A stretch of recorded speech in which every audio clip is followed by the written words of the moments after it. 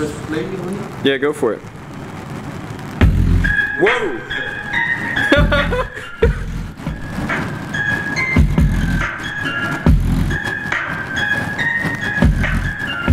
Now you may have seen a Rubens tube before. That's basically a pipe with a bunch of holes in it and you pump in a flammable gas and light it on fire. So you basically create a row of Bunsen burners. What's really cool is to play some sounds into the tube and you can actually set up standing waves. That is, there are areas, there are patterns of the vibration of the air where there's a lot of vibration in some parts and not very much vibration in other parts. Now that affects the flow rate of the gas inside that tube into the atmosphere, and so it affects the height of those flames. So basically, you can visualize the standing wave pattern.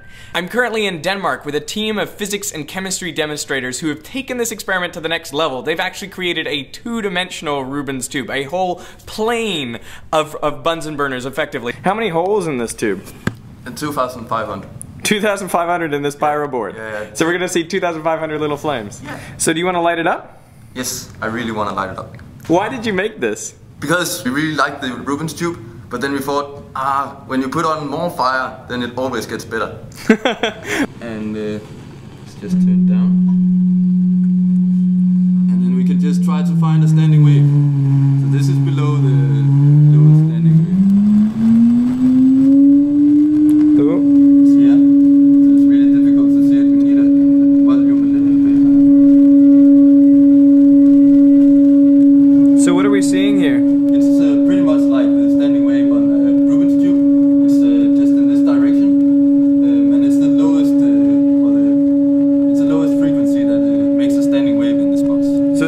Fundamental. It's the fundamental. Can you show me what happens when you vary the volume a little bit? Whoa. that was awesome. Okay, should we try to find another standing wave? Yes.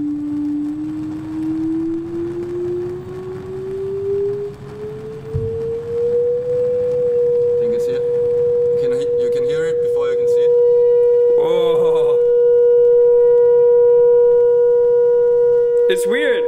With the microphones, I can actually hear. Like here, I'm in a node. And then here, I'm in an antinode. Here, I'm in a node. So, because you can measure the sound pressure. I can I can hear it. Like here is very much antinode. I never thought about that. This is a node, and you guys can hear it. Yeah, that's true. It's incredible. The flames Yeah. must be coming out in the antinodes. The flames are coming up in the antinodes, yeah. And you can even hear it. Yeah. That's Nice that incredible. you can do that.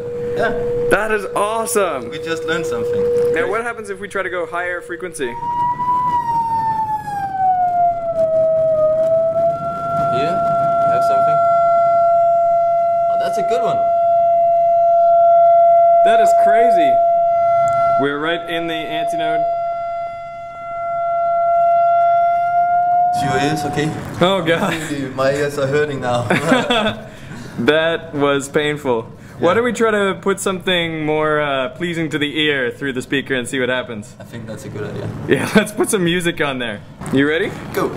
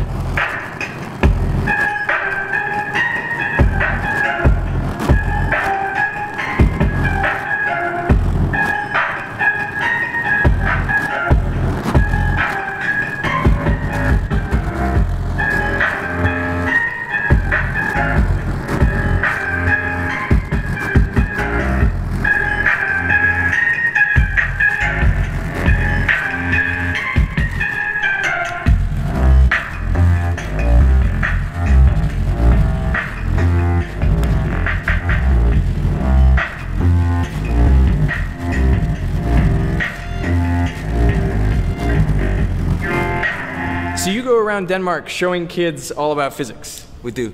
That's what we do. You show them the pyro board. We show them the pyro board and we show them a whole lot of other stuff. And you guys are also on YouTube? Yep, we have a YouTube channel. You can go to it on this link right here. Go check it out if you want to see more of what these guys are up to. It's awesome. It's great.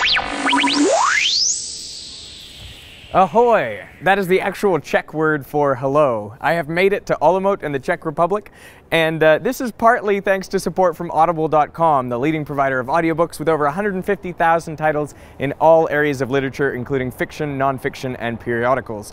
Now, today I wanted to recommend a book which is a little bit European. It's called Galileo's Daughter by Dava Sobel. I love this book because it includes the actual letters written from Galileo's daughter to him during his life, and it really reveals what he must have gone through as a human being. I mean, we all know about his science and about, you know, the trials that he went through, but to see this kind of insight into his personal life, I think is remarkable. So you should really check out this book. And you can download it for free by going to audible.com slash veritasium, or you can pick any other book of your choosing for a one month free trial. So I really want to thank Audible for supporting me and allowing me to go and meet great scientists and filmmakers and lots of people all around the world. Also, I should note that I will be hosting Michio Kaku in Brisbane and Melbourne on June 5th and 6th. Links in the doobly-doo. I would love to see you there. Thank you so much for watching, and I will see you somewhere else in the world. Bye.